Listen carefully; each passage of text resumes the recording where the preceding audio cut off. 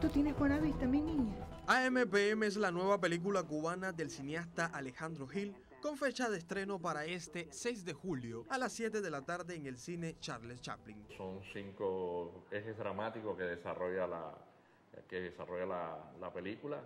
Es una, es una visión colectiva de, la percepción de la, de la, existencia que van teniendo los, los personajes y que por ser AMPM estos se entrecruzan, se tejen sus historias alrededor de un solo día donde eh, estos encuentros, de una manera o de otra que se suscitan, hacen inflexiones en sus vidas emocionales, unas muy favorecidas y otras eh, no tanto. Pero sí queda en, en el fondo la posibilidad de esa segunda oportunidad la cinta cuenta con un elenco de lujo, integrados por actores de la talla de Blanca Rosa Blanco, Jorge Martínez, Verónica Lin, Clarita García y el fallecido Enrique Molina. Este trabajo se centró en, una, en, argumentar, en explorar bien, en sentar bases psicológicas muy importantes de un análisis de cada una de, de las secuencias y, que cada uno tuviera un tono y un espíritu acorde a la, a la problemática, al conflicto que iban a representar como,